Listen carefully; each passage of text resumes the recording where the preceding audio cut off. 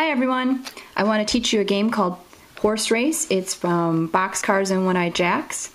So what you're going to do is you're going to have 18 of one color dice, 18 of another color dice.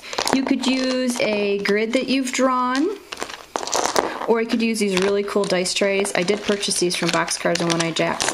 My students love these. This is a great game for addition or for multiplication.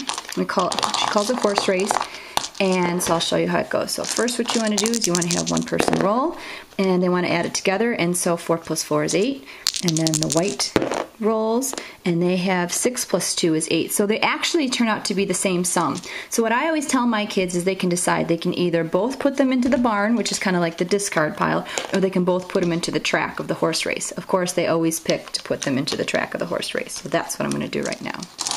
I'm going to roll again. This time I have six,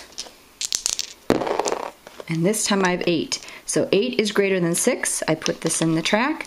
These guys go into my barn here. Keep on rolling. This time I have eight. This time I have eight, and so eight and eight, they're the same sum. They're equal. We want to encourage that math talk. I put them into the into the track here. Now, you could do a short game where they just go up to the top, or you can start to curve around. Short games seemed a little bit too short for my first graders, so they just kept on going.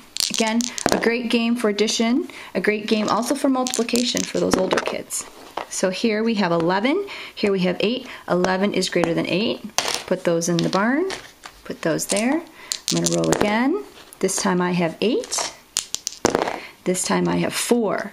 So 8 is greater than 4, and you'll notice then you start curving around on the track. It's a fun game. It's called Horse Race. Hope you enjoy it.